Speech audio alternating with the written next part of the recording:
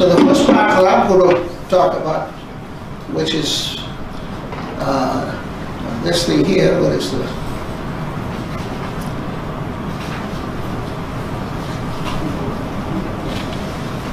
Here's what Khalid Blankinship was supposed to say.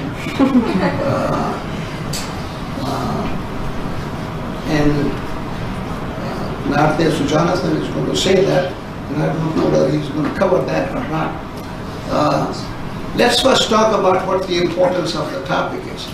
And the importance of the topic really isn't ISIS. ISIS are new players, they have no credibility, no one really cares about them, especially among, among Muslims, especially among scholars. Uh, it's a flash that will go away like many other flashes have.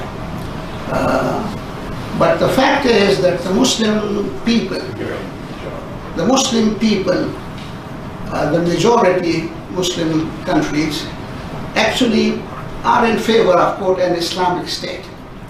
They have no idea what that means. Uh, they have no idea what that means, just as uh, Pakistanis had no idea that they just formed the Islamic Republic of Pakistan. Uh, uh, my father was a part of that, that thing simply because it was freedom. Uh, and there was never really a talk. When I came to Georgetown, no one asked about the Islamic State because it was not a topic. Uh, the Jesuits were not interested in it. Uh, and my philosophy professors, they were not interested in it.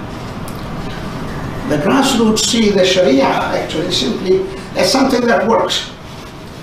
Uh, and they think it's a solution to the corruption uh, in their governments and in their countries. Uh, the outsiders, however, I just call it in general, the outsiders claim that they want to establish a worldwide uh, caliphate uh, that will be oppressive to women uh, and for the non-Muslims. So it is still, this, this topic is not going away. Uh, so the question is, do they derive, whoever they are, do they derive their authority from the Quran or the Sunnah? Uh, and uh, there's another group uh, that has, it's not new, I call them statists. Uh, uh, instead of talking about the Quran or the Sunnah, uh, they want to establish, quote, a state. And we'll talk a little bit about that uh, because the state that they want to establish is not an Islamic state by any stretch of the imagination. It's a modern state uh, where all power resides in the government. Now, the way my mind works, the first thing I want us to, to, to do is to say, let's define some terms. What do we mean by a state? And I'm not going to go too into it. We have unions, we have commonwealth, we have federations. Uh, you know, the United States itself is not a state, it's the United States. Uh, and actually we have, what is it, three commonwealths? So they're not all Pennsylvania and states. Massachusetts. Virginia, uh, Pennsylvania, and Massachusetts. and- Three. Yeah. So three commonwealths. Uh, And uh, we need to think about why they are called commonwealths. In the, in the Arabic terminology, Muslim terminology, uh, the word sultan actually appears a lot in the Quran. Uh, And it is still used, and sultan is power, might, authority, and so on. Uh, But the only sultan we have in the Muslim countries now is, I think, the Oman. Is that the only sultan? Oh my, oh my, Brunei. Brunei. Brunei. Brunei is a sultan, okay. Some, Yeah, I mean, some, that's some the of Malaysia. Turkish word. Malaysia has a federation of sultans. I think. But That's a, that's a federation, still have a sultans, uh, and they have no power, they just rotate and, and claim something. Uh, The dawla is the word used a lot. In fact, ISIS started by calling itself the Dawla al Arabiya fil Iraq wa Sham. That's where the Daesh comes from. And people say, well, it's a, it, it, that's not who they are. Well, it, actually, that's what they call themselves, and the rest of the Muslim world still call them Daesh. Uh, so it's a Dawla. Mamlaka just means the things that we own, and we have a lot of mamlakas. Mamlaka al-Saudiya, al-Arabiya, uh, uh, which means the things that are owned by this corporation called Saudi Arabia. Uh, and then we have the word khilafa. Uh, well, the word khilafa or khalifa is the singular. The word khalifa is used in the Quran only twice. One in relationship with uh, Adam, where God says to the angels, إِنَّا جَعَلْنَاكَ فِي الْأَرْضِ خَلِيفَةً uh, that, that uh, uh, we are going to uh, appoint a Khalifa, and I want to spend a few minutes to talk about what that means. And the second time it is used for David.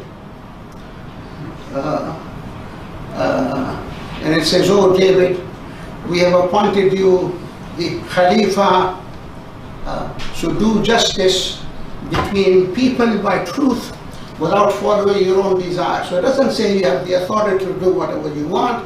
It simply says you have a responsibility to do justice, and if you use your own desires, you are going to be in trouble. Uh, uh, the Quran uses the word khulafa a lot, the plural, and it uses it in the sense of people succeeding each other. So when one nation is, is an authority, uh, they fall, another group comes, and the Quran says, now you succeeded the other people. So it's clearly uh, successor, and I think all translators uh, do successor. I just quickly went through this thing, you know, I have a habit of doing that. Among the recent translations, uh, the, during the 20th century, we have Ashraf Ali Thanwi, and those of you who know something about it, he, he was a great scholar from, from Deoband, and he wrote his thing Bayan al-Quran in Urdu. Uh, and, and, and he, he actually says, uh, uh, you are a subordinate. Mhm. Uh, he calls it a naib. Okay. A naib is a subordinate, if you want deputy, but certainly not a boss. Uh, Muhammad Ali calls it a ruler. I think it's important to, one of the reasons I do this is I want people to understand that the translators don't translate in vacuum.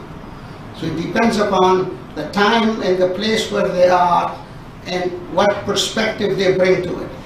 Muhammad Ali is a part of the Ahmadiyya movement uh, and they split and he went one direction and he wrote a lot of stuff in English and he wants to emphasize the fact that we are going to have rulers come from that group uh, and he makes a big point out of calling this ruler. Uh, well, Pickthall, I couldn't find the date on the thing I had, he called it Viceroy. Well, he's English. So the only thing he could think of as, as, as the deputy uh, is the second to the Roy rather than anything else. And Yusuf Ali, who wanted to impress us that he's writing in good English, he calls it vicegerent, uh, which no one knows, and if you look it up, you may be able to find what it means. But it kind of means viceroy, but not quite the same. Uh, and the N.J. Dawood, and I put some dates in here. Uh, N.J. Dawood, who was an Iraqi, I believe Iraqi Christian, uh, uh, he uh, uh, decided to kind of explain it. So he says, the one who shall rule as my representative, as my successor, God's saying. And Abu al-Mawdudi just uses the word Khalifa, and I think deliberately because he was a statist. He wanted to establish a state, uh, and Khalifa had acquired a meaning in, in Urdu uh, that meant uh, you have some kind of an authority. And Thomas Cleary, which you may or may not have heard of, who's a linguist, uh, uh, he simply went back to deputy. So overall, uh, Khalifa just means deputy at the most, with no authority independent of the authority given to the deputy and whoever the chief is, which is God. Uh, Okay, I want to very quickly go to what happens at the beginning. Uh, And I may not be looking at this thing because I get, I get distracted when I have this thing in front of me. Uh, When the Prophet wasallam died, um, contrary to the general impression, the people didn't just run around, gathered together and said, Abu Bakr, you are our Khalifa, the Khalifa of the Prophet. Uh, in fact, the Muslims of Medina itself were divided into at least three groups, well-defined groups. Uh, the group of Banu Hashim, uh, centered around Ali, but actually the meetings were all in the house of Fatima, Prophet's daughter. Uh, uh, and they continued to meet in her house for as long as she lived, which was six months. Uh, and they claim uh, that the Khalifa, the one who succeeds the Prophet, should be within the family of the Prophet, which they claim to be uh, them. Uh, in, in, in fact, since there was no male heir, it, uh, they said that was Ali. Uh, the rest of the Quraysh in Medina uh, had a very high regard for Abu Bakr uh, and they were uh, willing to accept him as the leader.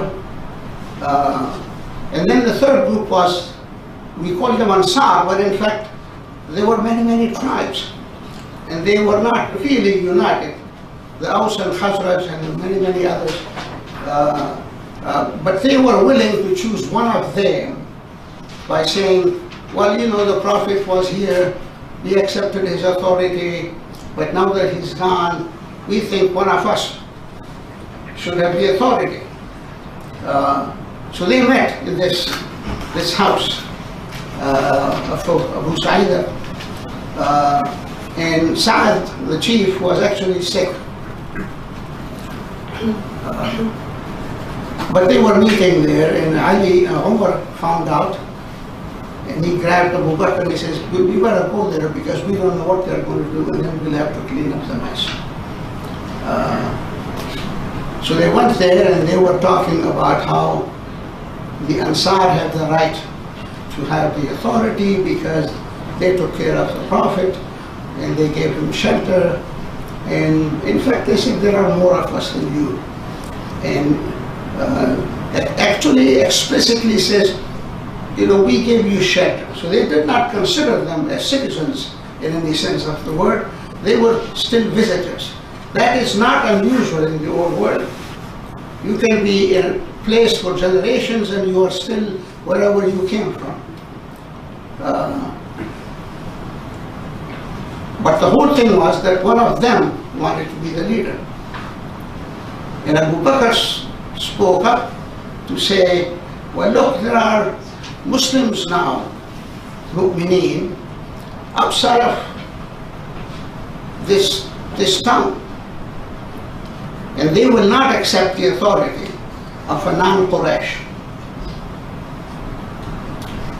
Quraysh being the most respected tribe, uh, which had the authority, the control over Mecca in the holy places way back then, uh, will be accepted for to people more easily, not unquestionably, but more easily. Uh, and he said, well, I here two people I have choose uh, uh, Umar or, or, or uh, uh, this other guy. It doesn't matter who the other guy is because no one was going to think about him. And actually the things didn't get calm. if you read the literature, you find that people got very heated, swords were drawn, and things were getting pretty ugly. So Omar immediately took the hand of Abu Bakr and says, I do bay'ah on your hands. And he had already told the gathering that Abu Bakr is the best among them and quoted the stories. He was the second one in the cave and he was appointed by the Prophet to lead the prayer and, and many, many of those things which no one could deny. Uh, so when he did it, the others followed first from the Quraysh and then from, from the things. So here is the so-called quick election. Was pretty, pretty ugly. Uh, the next morning, the Prophet now is still not buried. The next morning, before the prayer, Umar stood up and told people to do the bay'ah of Abu Bakr. and they did. Uh, well, uh, somewhere in here, I think I have a. I think it's important to look at the first statements they make. I call them inaugural addresses, uh, which is what we call them today. and instead of, you know, uh, doing the, the, exact translation, what we end up with things like I'll do so and so, inshallah, there are lots of inshallahs in it, uh, you can just look at what they said. Uh, and he said, uh, and uh, Umar had said, and he is the best among us. So the first thing Abu Bakr said was, I've been given authority over you and I'm not the best among you. The second thing was, if I do well, help me. If I don't do well, correct me. And the third was, the weak among you will be strong with me until I have restored their rights to them. And the strong among you will be weak towards me until I have taken away your rights from him, from them. Obey me if I obey God, and if I don't obey God and His messenger, you, you owe me nothing. So you can see what the messages are, and I don't have to go and analyze it.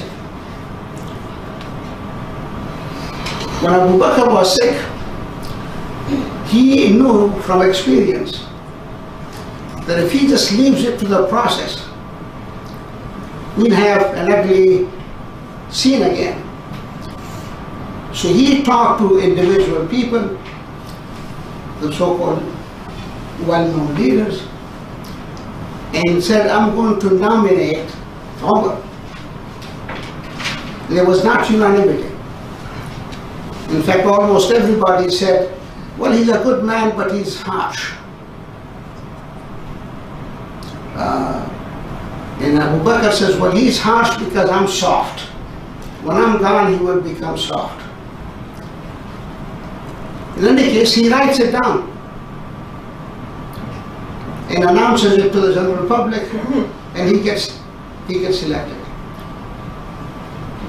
Omar actually becomes soft, and he turns out to be a very good administrator. Uh, and I have, um, let's see if I have it. Here is what he said. There's five things. Uh, I will not exact any taxes or levies that are not authorized by law. The very first thing he said. All lawful, lawfully realized taxes will be used only in your interest. Three, it is my duty to protect the frontiers of your lands. Guess what is missing? Conquer new lands. Simply says, I'm going to defend the frontiers of your land. It is my duty to protect your prosperity and look after your interests. And it is my obligation to do justice. And the reason it's important to look at these inaugural addresses is that they sound very modern. Because these were concepts that were not that well known among the people, except the people did have a, a tradition of consulting with each other. And when they called him the Khalifa, he actually ridiculed it. He said, well, Abu Bakr was the Khalifa of the Prophet, so who am I the Khalifa? Am I the Khalifa of Abu Bakr? And then who will be my successor, the Khalifa of Umar, who's the Khalifa of Abu Bakr? I mean, this is ridiculous. Because he took it only as meaning a successor, nothing with authority or anything. But being smart, when someone said, Amir al-Mu'mineen, he said, that's a good one. Guess why that is a good one? It has the word Amr in it. He will have an authority. Um, I gave you a little short list, and I don't know whether going to make a copy of some of these. Uh, Omar actually, How, would you translate into English Amir al-Mu'mineen?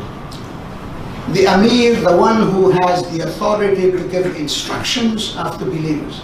Uh-huh. Amir is just the one who has the authority of Amr, which is just instruction. So it has nothing to do with commander, Why? military commander. No, no, It means no. commander. I mean, if you, Well, you no, I mean, his, from the original. yeah, I mean, the, the Amir, but Amir also means Prince. prince or leader, just someone who has authority. Okay. Because nowadays they translate it as commander of the faithful, But one of, which sounds one odd of to the, them. Yeah. well, one of the things is that if you, if you start thinking of these things in the current terms, of which later became the term, that's the problem, which is what I'm trying to, Right. to, to correct. Uh, Amir, Amr. I asked one person once, I said, so when does someone become a sheikh? And he said, $10 million. And of course, now $10 million is not enough. So anyone who has $10 million is a sheikh, which literally means an old man, a leader, someone to be respected and so on. Anyways, here is a list of things, and the most important thing in here is uh, uh, he permitted business people from the belligerent nations to come and do business. Uh, he established uh, allowances for among the for the poor of the Christians and the Jews. I mean, these are all kind of modern ideas. Uh, uh, we consider them. Uh, uh, he, he announced uh, daily allowances for people who took care of the street children. I mean, literally street children. And we don't think they were, but they were street children, and so on. I'm gonna, I'm gonna not spend too, too, too much, but the, uh, uh, Umar then had a big problem in naming his successor. Because there was no one he could name that everyone would as easily get behind as they got behind him, because Abu Bakr said he's a good man. So he appointed a committee. Sounds familiar? And the people who put on the committee are all from the Ashra Mubashara, the ten who were given the good news by the Prophet. We have a little disagreement as to who they are, but these certainly are among them. And the one that is missing is Abu Bakr and Umar, who are also among the Ashra Mubashara. And these people actually had a problem. They discussed it, and one of the things they were mentioning is, well, uh, what model are we going to follow? And one of the things that they constantly came up is whoever we choose has have to follow the model of Abu Bakr and Umar. And Ali said no, and Uthman said yes, and that is how Uthman became the next one. Okay. Um, okay, that's it, I think.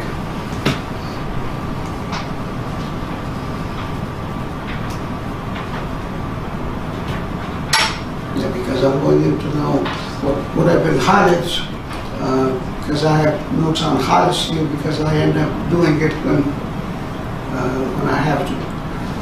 So that's it. uh, uh, there was no concept of a Khalifa as the ultimate ruler with all the authority.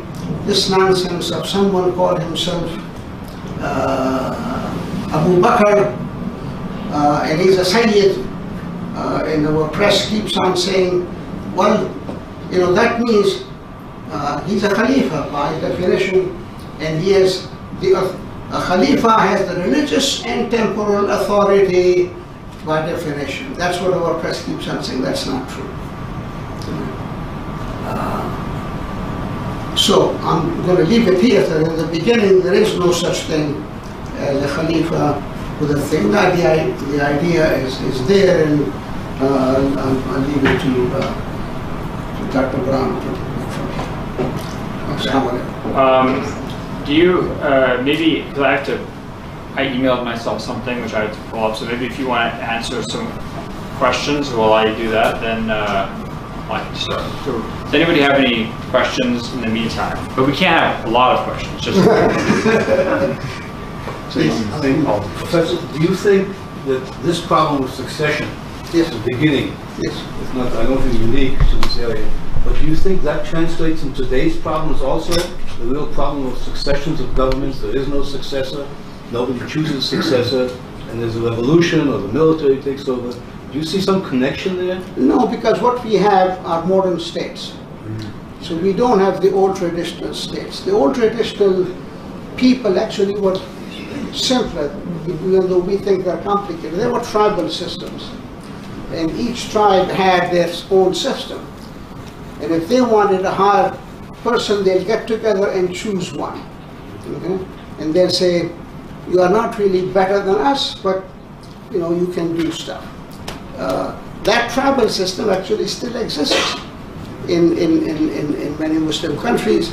Uh, and in fact, uh, to the extent that the tribal system exists, the modern governments have problems with them. Because you cannot uh, force them to do anything they don't want to do. I mean, Palestine is, is, is, is a problem partly because Palestinians, they're small mountain villages, okay? They are independent thinking people. Uh, Afghanistan and the western Pakistan, they're all tribal people. Uh, and if they slowly move to something, it works. But forcing them to do something doesn't work. Uh, so I, no, I don't think the problem is, is, the, is the old problem of succession because it was decided that we are not going to agree uh, and, and uh, leadership is going to be local. And I, uh, I'm not going to get to that because uh, Dr. Brown is going to handle. Yes. How does Malik come into this, into this story? Malik just means a king. Yeah. But what did the, the prophet say about Maliks? Uh, the ones who own something. Oh, he says a, a- Malik cannot go to, to heaven.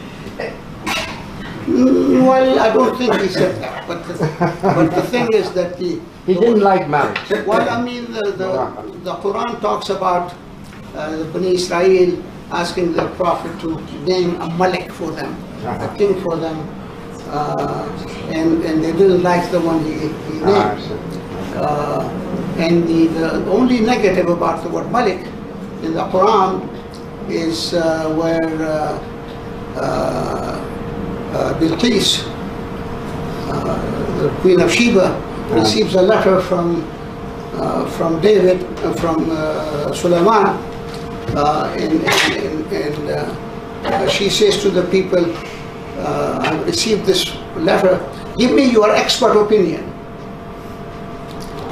called fatwa. Give me your fatwa.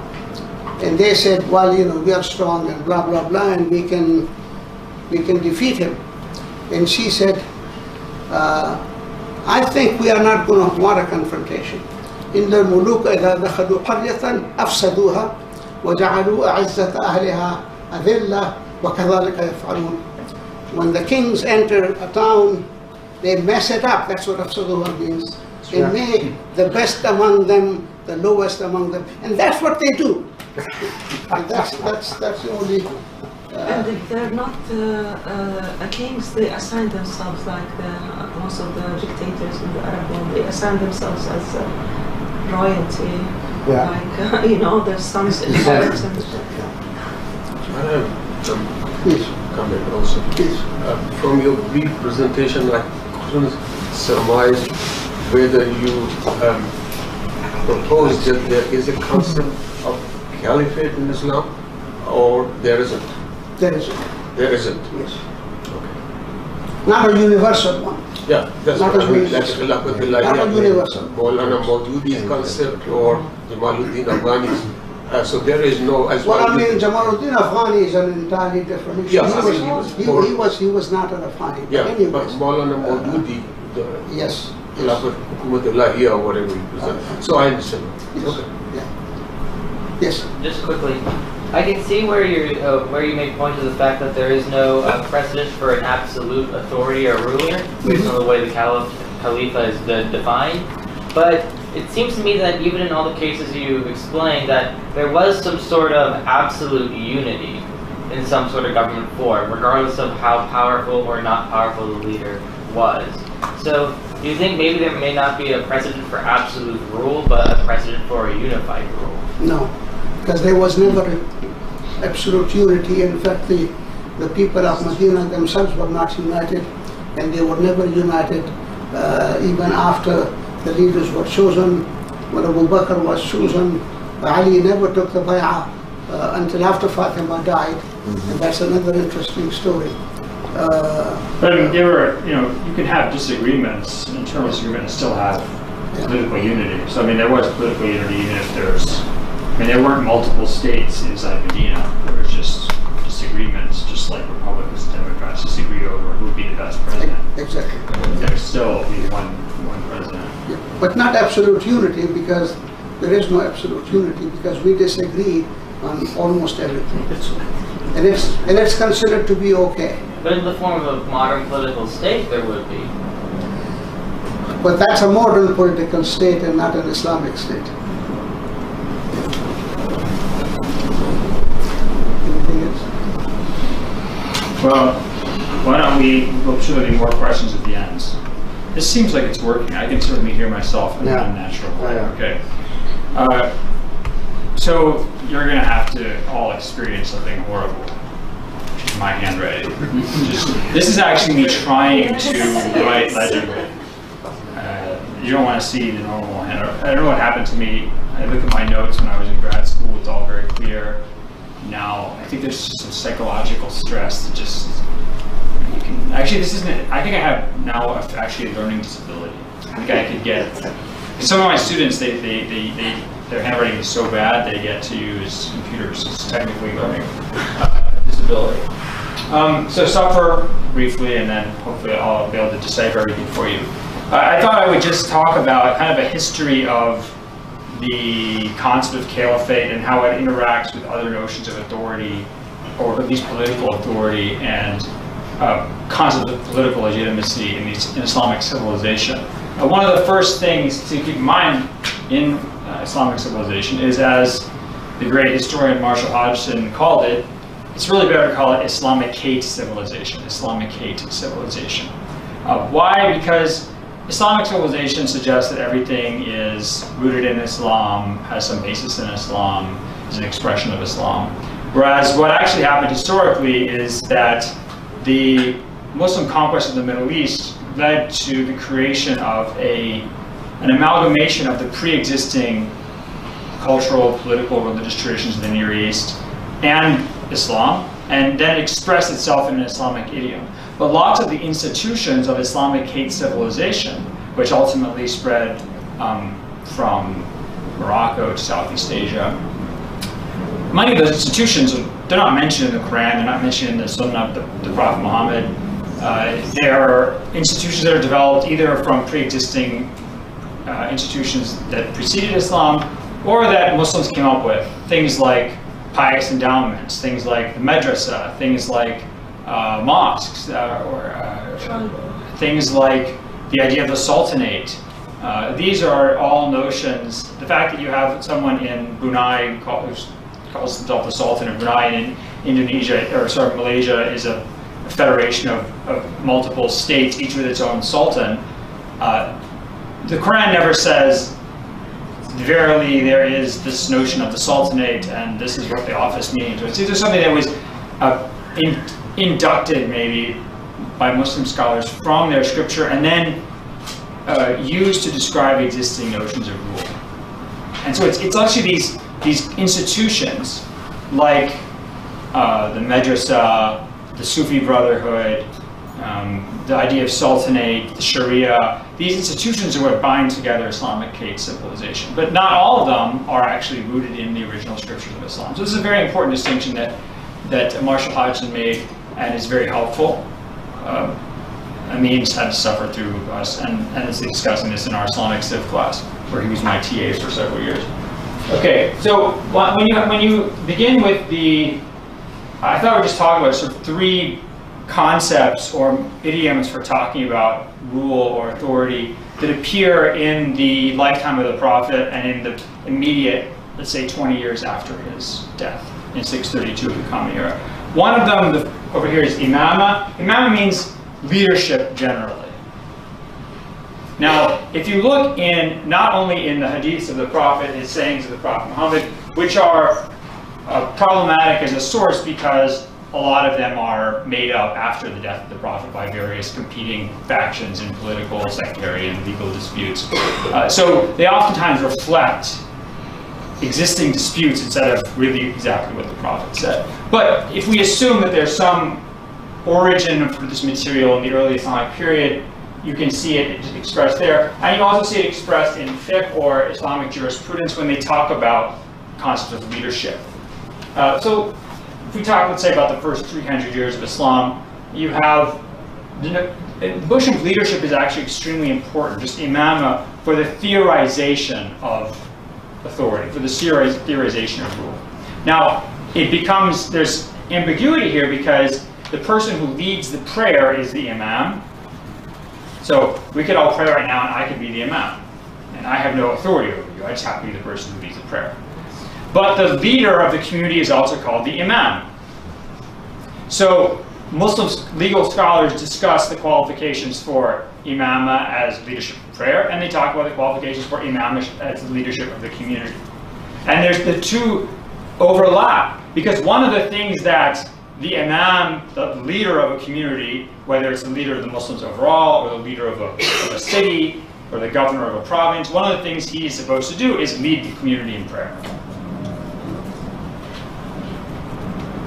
But uh, that, that ambiguity is important because you see that there's this overlap of religious leadership and temporal leadership. Now, the person who leads the prayer doesn't necessarily have any, like I said, I don't, my, the fact that I happen to think, you know, certain things right or wrong in Islamic law, I have no right to force that upon the people whom I lead in prayer. But there is this notion of religious leadership in the sense of, act, of leading the, the, community in prayer. The second concept is that of khilafah. That's the idea of successorship. And as you saw, this is the term that's invoked by Abu Bakr. He's the, the Khalifa, the, the successor of the Prophet of God. And the last one, and boy, this is, it's an R, I guess, Imara. Imara means command. So the, the word Amir is the active participle or the, the, a noun from the, ver, the, the, the, the verbal noun of imara, of command. He's the commander. And oftentimes when the prophet talks about commanders, he's talking about, I'm making someone a commander for a campaign. This person is your commander. You obey this person on this campaign. So it can be a commander in the limited sense of a military campaign, and it can be the commander in the greater sense of being the leader of the community. And that's, again, the term that Omar takes is Mir al-Mu'mineen, the commander of the faithful. And this is the most common term you'll see for the first, uh, I'd say, 200, at least 200 years of Islamic history. And any of my students, since I have so much respect for you, having either had no impact on you or had a lot of impact on you, any of you who think I've made a mistake and you want to correct me, please raise your hands. These two, because these two are very interested in political history. If you guys have any corrections, feel free to. I would, I would guess around the first 200 years. really, Amir al-Mu'minin is what the leaders call themselves. Commander of the faithful. Now, uh, so basically, time goes on. You have the first four caliphs who are often later termed the, the, the rightly guided caliphs, the Khulafa al-Rashidun. al-Rashidun. Uh, oh, Abu Bakr rules for only two years. Omar rules for uh, 10 years, assassinated. Uh, Uthman rules for 12 years, assassinated. And Ali rules for three years, four years, is assassinated. Five, yeah, five. Almost five. 656 to 660.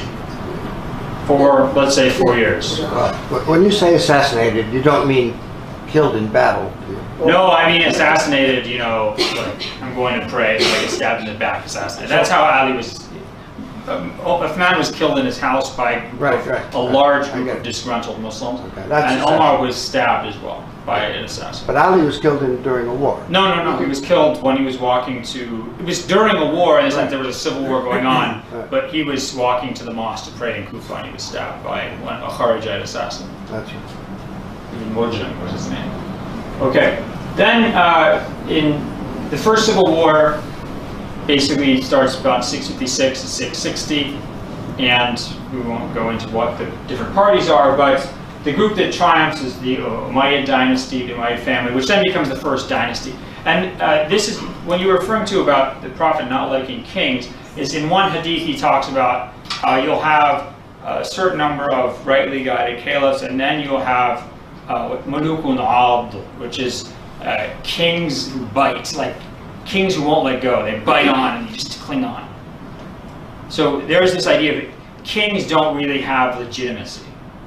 They're, and, and then you, you see this with you In. Allah's eyes. In Allah's eyes. Well, no, the king doesn't have legitimacy because a king, what is, I mean, it's very clear in the, the time of the Prophet and Abu Bakr and Omar and Uthman and Ali that you don't get, you don't become the ruler because your father was a ruler.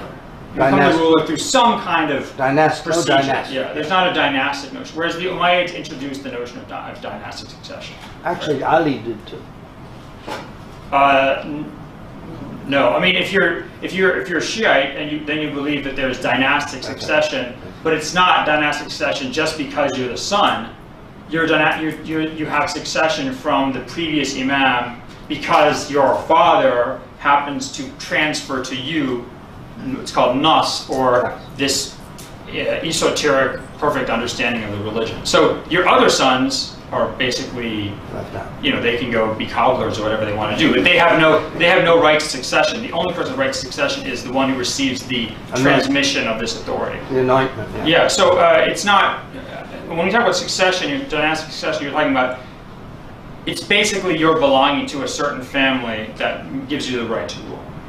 Uh, and that is introduced by the, the Umayyads. And of course, the Umayyad dynasty uh, makes their capital Damascus from 660 until the late six, uh, 740s when they're challenged by the last group that actually uh, successfully overthrows them in 750, the Abbasid dynasty. This is a dynasty that starts out in north, uh, north uh, Persia, but is led by a descendant from the prophet's uncle Abbas.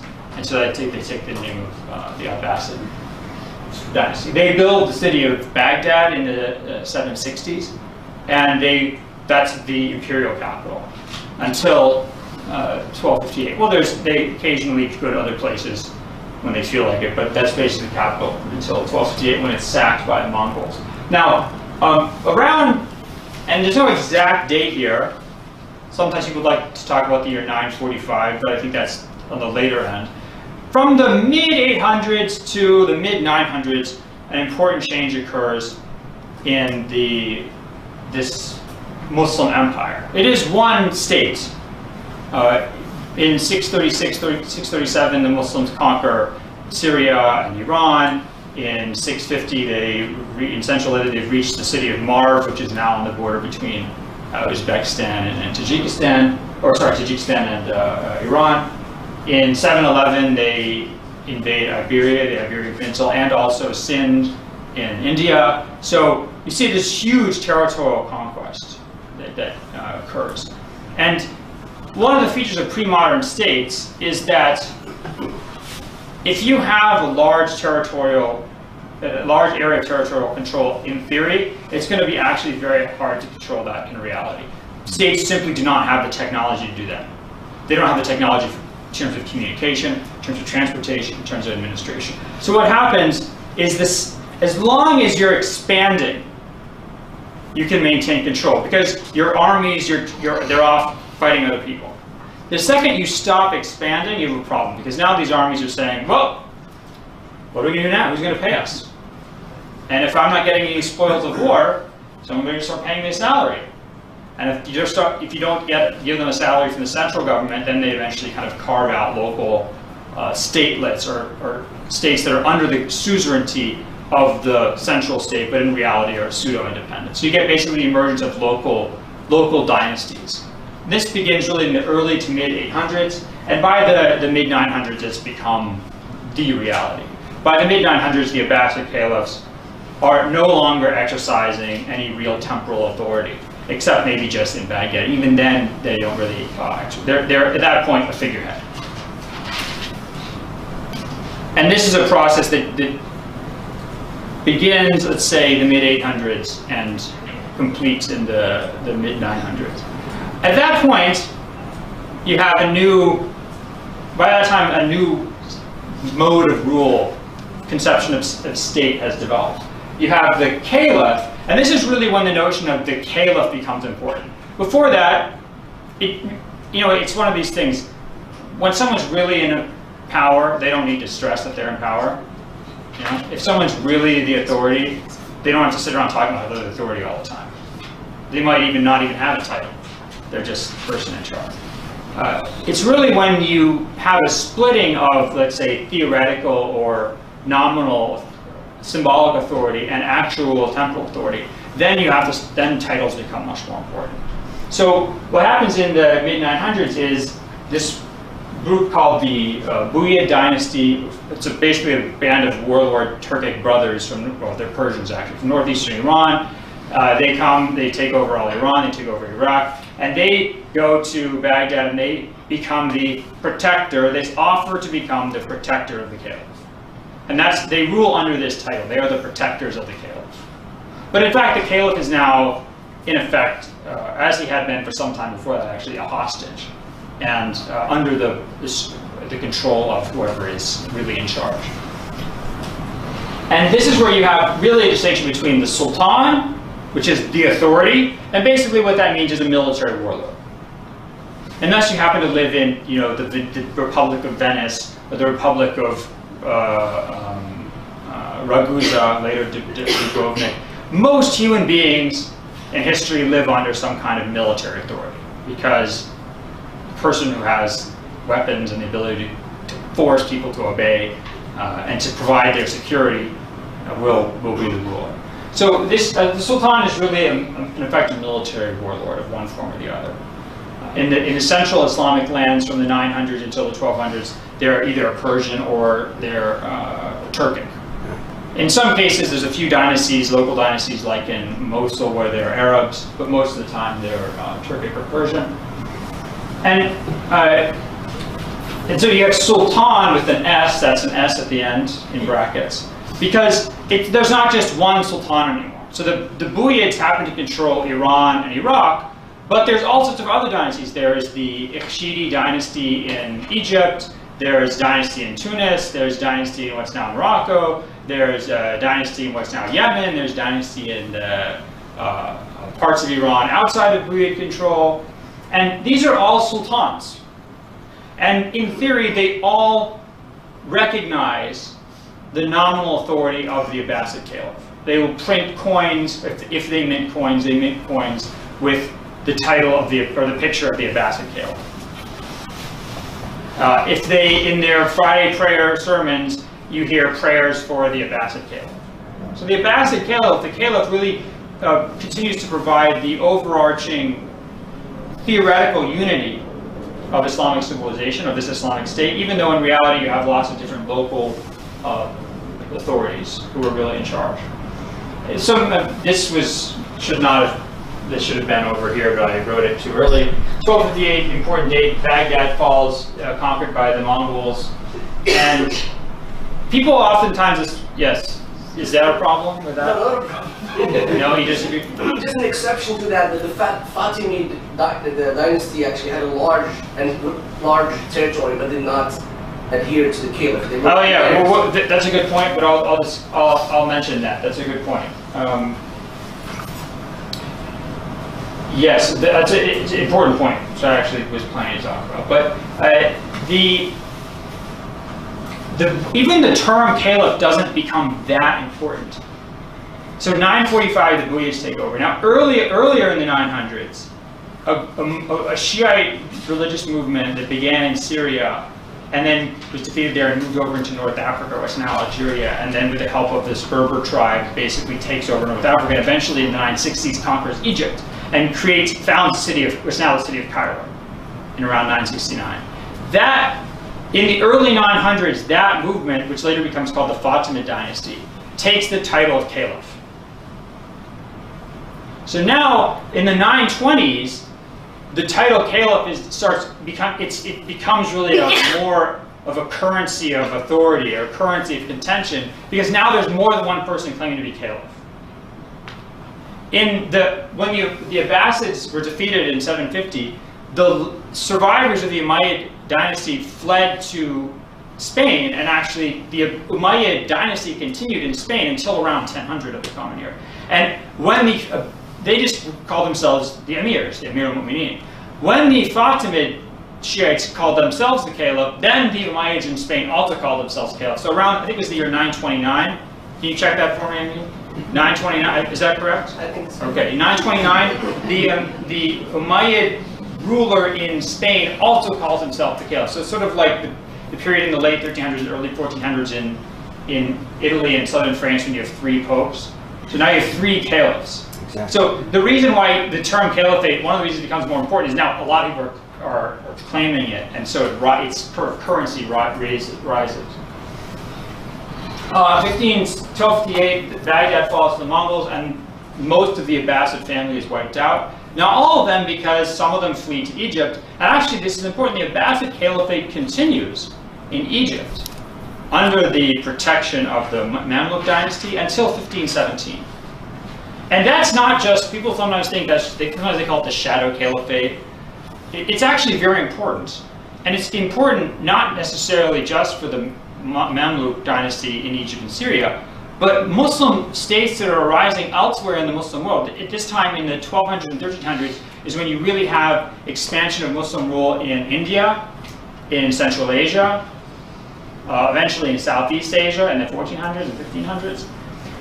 The, the uh, Delhi Sultans, who were really the first major dynasty in India, from 1192 until the late 1300s when they're destroyed by Tamerlane, they, in the early 1300s, they get a letter of investiture from the Abbasid Caliph saying, I recognize you as my legitimate representatives in India. And that, that's so important that this letter is always read at the Friday prayer. And they, the Delhi Sultans actually built a whole city. Now, if you go to the, if you ever go to Delhi, there's an area called uh, uh, which now has really upscale, nice furniture shopping and good restaurants. But it's a, that actual area was called, uh, it was built for the a representative of the Abbasid dynasty. They built a whole little city just for a representative of the Abbasid dynasty to come. So an extremely powerful idea for legitimacy of Muslim rulers who are out, out there in what at the time were marginal areas. Um, now, so what happens in this period of, let's say, the 900s to the 1300s is the concept of caliphate becomes much less important. So you have this contestation over the, the title of caliph in the 900s and the 1000s. But by the late 1000s, early 1100s, the Fatimid dynasty is no longer a threat. The uh, Umayyad dynasty in Spain has been conquered. And what really, from, you could say around maybe 1100 to going up into maybe even the late middle, early modern period, the 1600s, the concept of caliphate is not very important anymore. Because by this time, it's really the notion of sultanate that is important. And it's not an Islamic notion of sultanate. It's a continuation of the pre-Islamic Near Eastern tradition of the Roman emperor and the Persian emperor, which is that the ruler is God's shadow on earth. The ruler is God's shadow on earth. The ruler is deserves total obedience because it's also the ruler's duty to provide total justice. And this really becomes the, mod, the, the, the, mode of conceptualizing rule. And there's other streams that feed into this. So in the mid 1200s, when the Mongols invade the Middle East in 1250, and then you have a dynasty ruling most of Iraq and Iran until the early 1300s as a Mongol dynasty.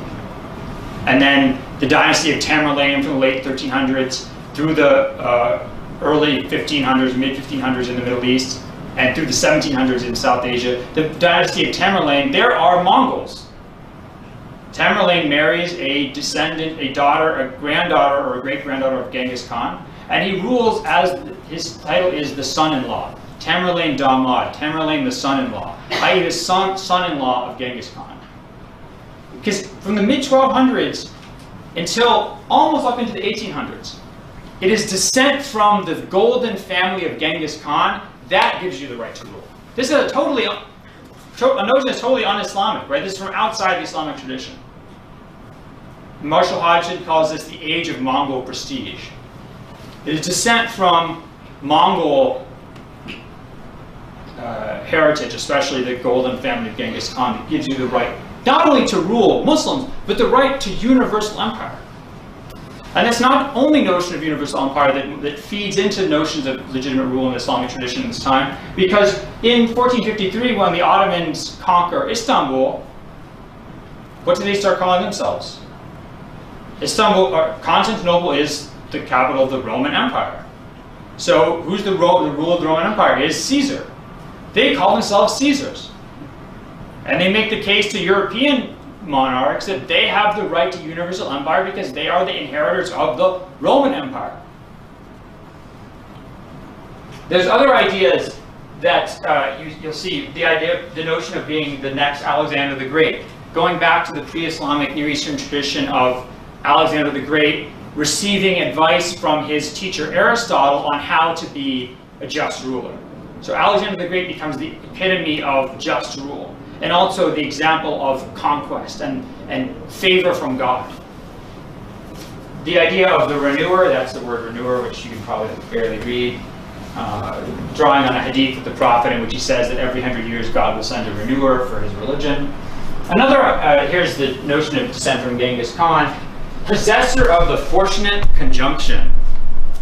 Not the most charismatic term in English, but in Arabic or in Persian, Sahib Qiran, the one who owns or who comes at the time of a certain planetary conjunction. Here, this is going back to pre-Islamic Near Eastern traditions of astrology, that the heavens have some, will, will tell you when certain events are propitious.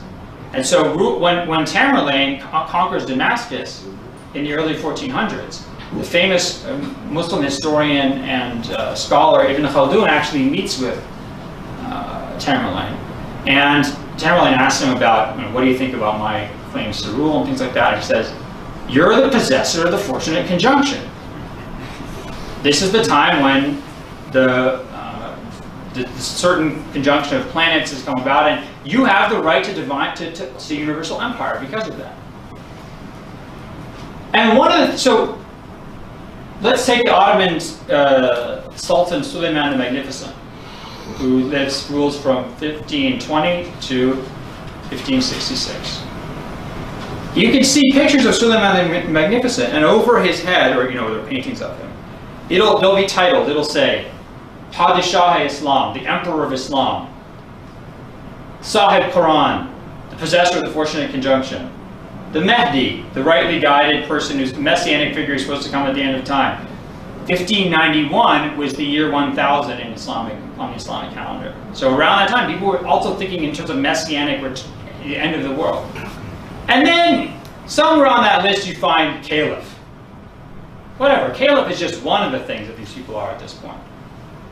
And another thing that's very important, oh, oh I won't get into that actually. Um, well, maybe in the question. So, so caliph is, is, is really not an important title at this point.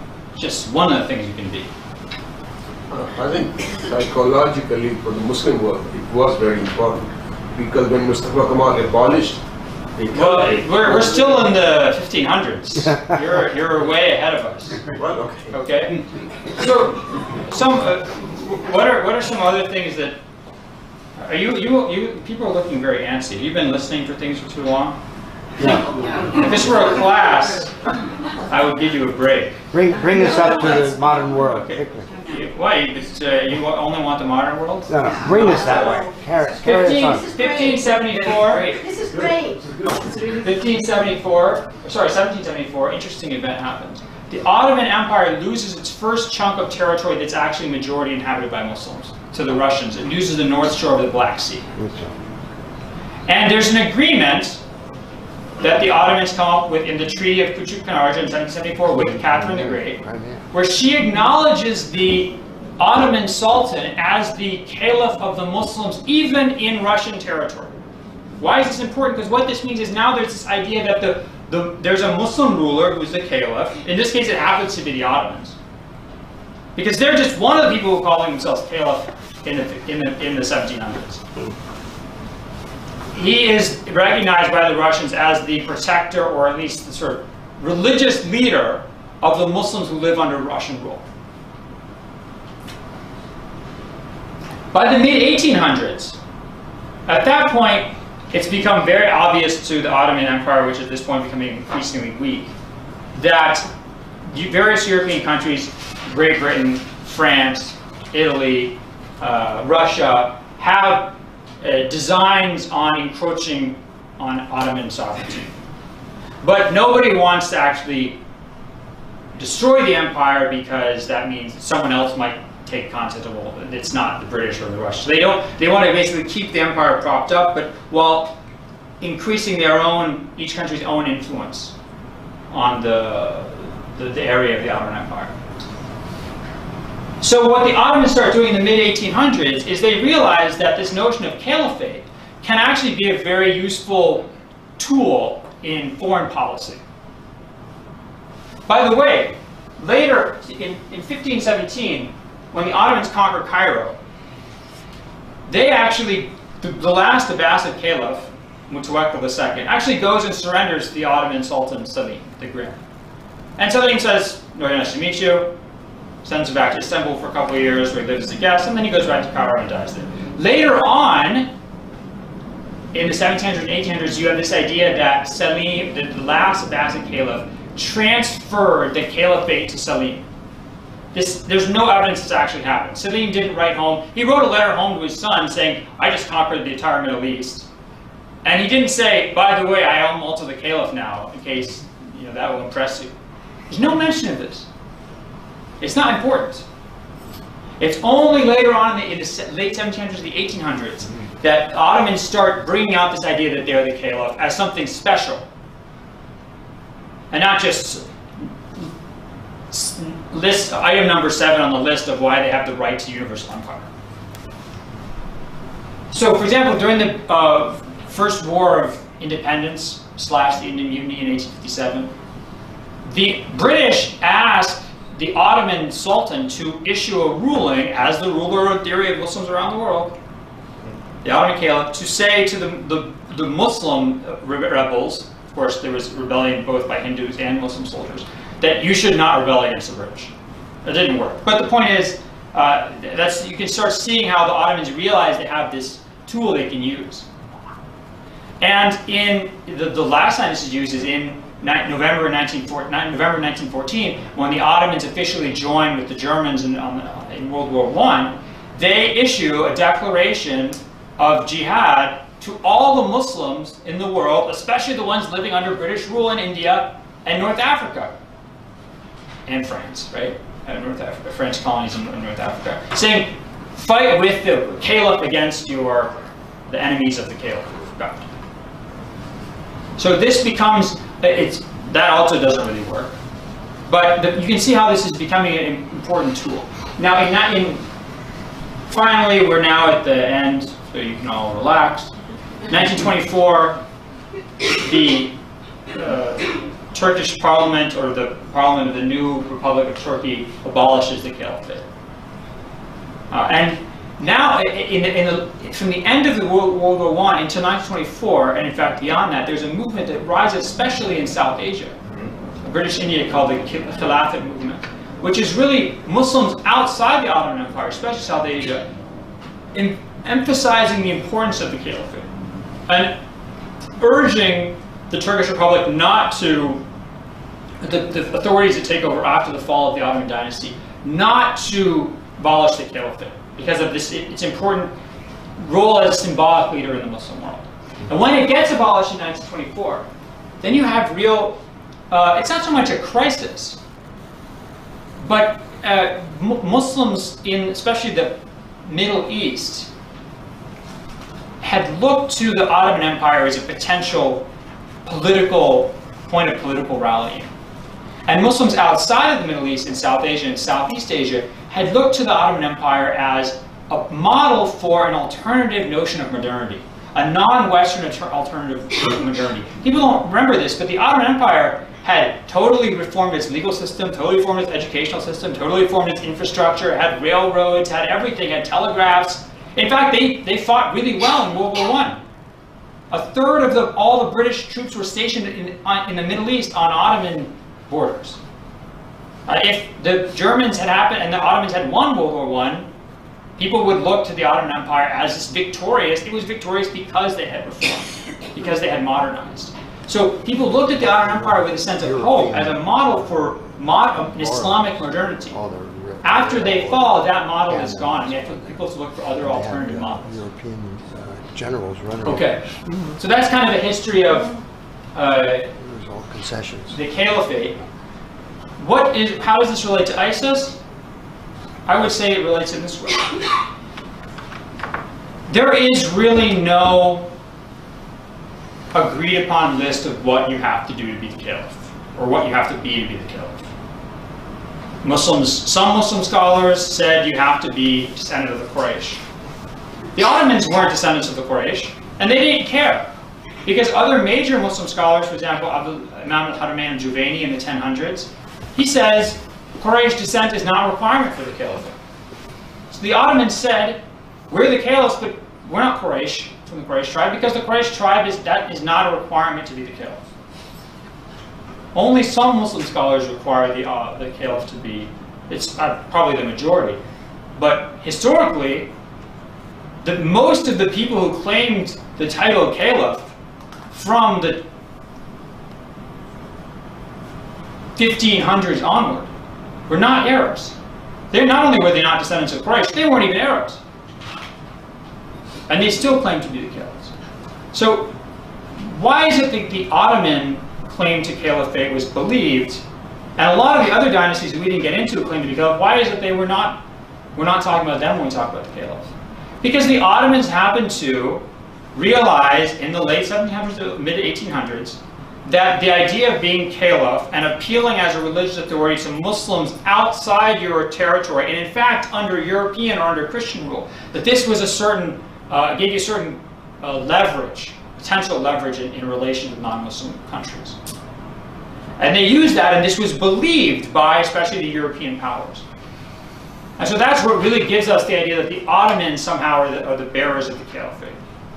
And that in 1924, the end of the caliphate was is, some major moment. Uh, in reality, you could have a Turkic warlord who happens to take over all the Middle East and then gets up and says, I'm the caliph, and he would have just as, pretty much just as much a right to do that as uh, anybody else. What makes somebody you know, followed as a caliph is their success as a, as a state or as a leader. If you take over and you call yourself the caliph and you have a lot of power and you can command territory and uh, defeat your enemies, you'll probably be considered a legitimate caliph.